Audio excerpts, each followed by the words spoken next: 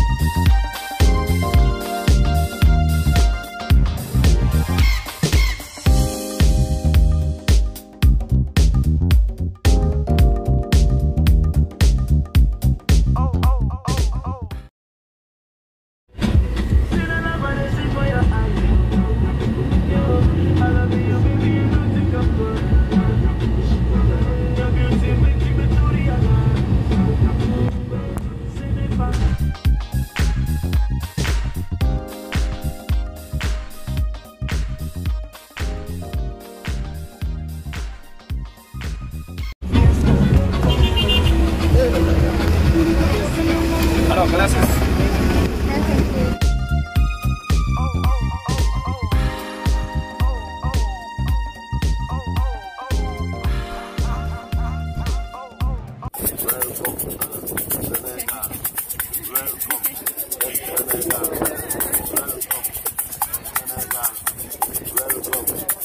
Go to island, go.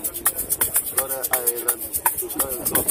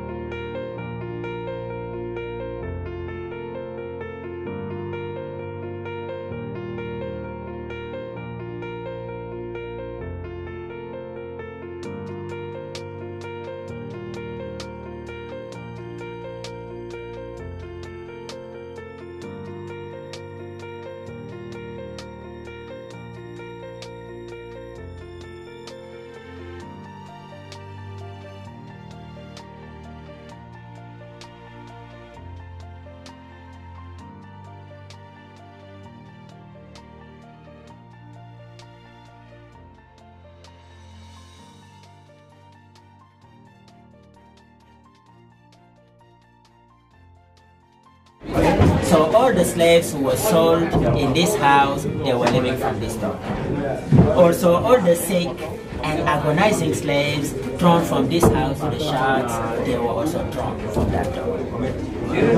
Now when came the time to leave, all the slaves were getting online and one by one they used to go to the boats. Back in those days, the boats wouldn't get very close to the door because of the rocks. So if you get closer to the door, you notice many, many big black rocks between the door and the water. So they decided back then to make some type of bridge. A long bridge made with this type of wood up here called the palm wood. That way the slaves were able to walk one by one and reach the food. Also, anytime the slaves were going to the boats, the security guards used to be always standing one side to another of the wooden bridge. Some of them prefer to commit suicide by just jumping in the water rather than going to the boat. And if they do that, they're going to drag many slaves with them because they were linked by the chains. So to avoid that, the security guards won't hesitate to shoot and kill the slaves who wanted to kill himself. That way they can save the other ones. Also, the slave trade lasted 312 years on this island because it was started by the Portuguese in 1536 and it was also abolished here by the French in 1848.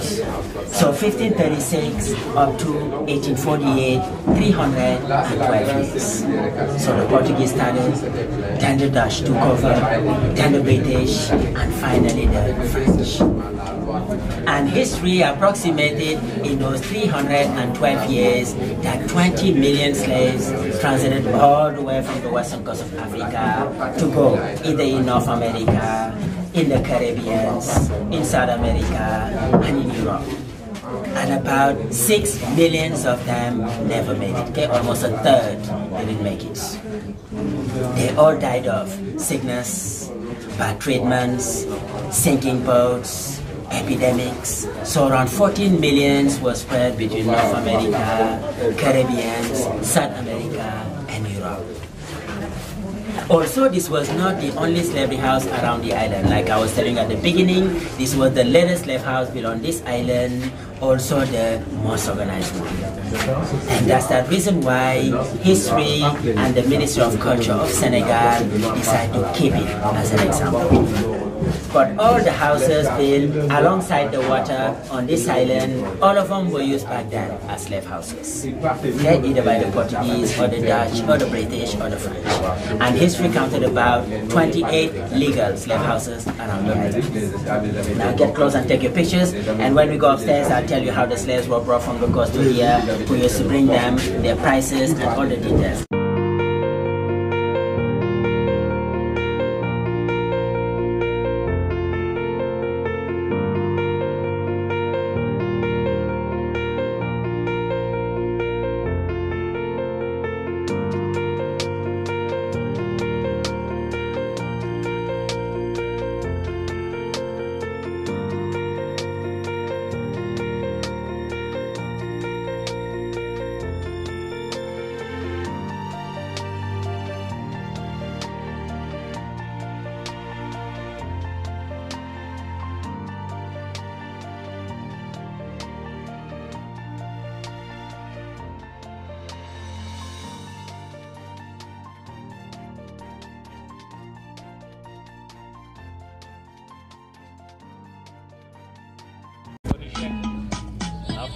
But I'm gonna show you a little bit why you here.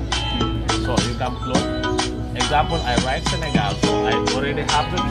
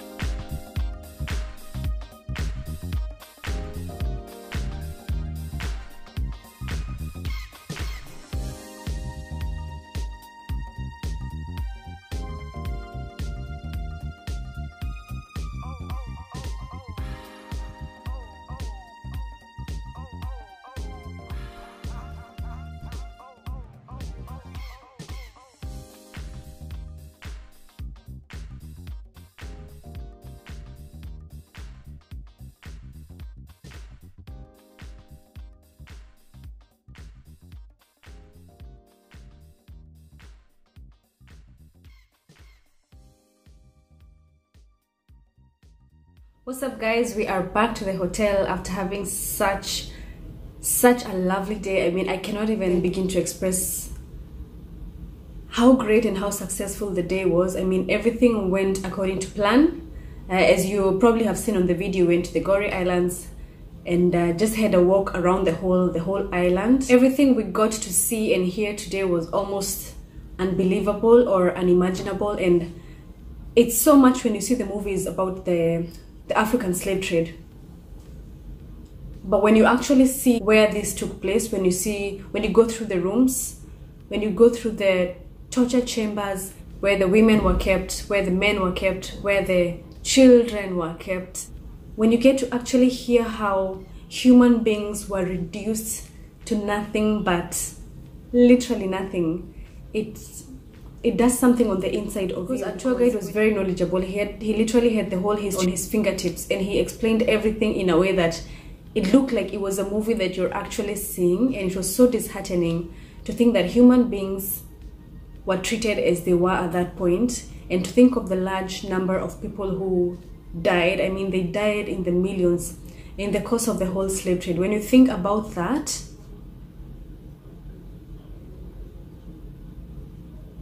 I, I, I have no words. I have no words. It was hard to actually film in there just because the atmosphere was not ideal to do the filming or like to take pictures and stuff, but it's it's good to have all that information. It's good to learn that and see how and understand how things are the way they are today. Through all the information that we got, it was hard to even believe that human beings could have actually survived any human being could have actually survived all that and then survive three months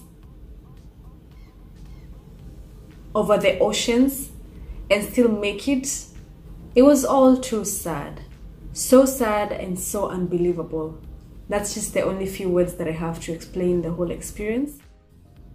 Anyway i'm gonna go quickly to the mall there's a mall that's attached, uh, there's a mall that's right next to our hotel. So I'm just going to run there quickly, get a few things, and then come back, get ready for a flight to Dubai tomorrow. So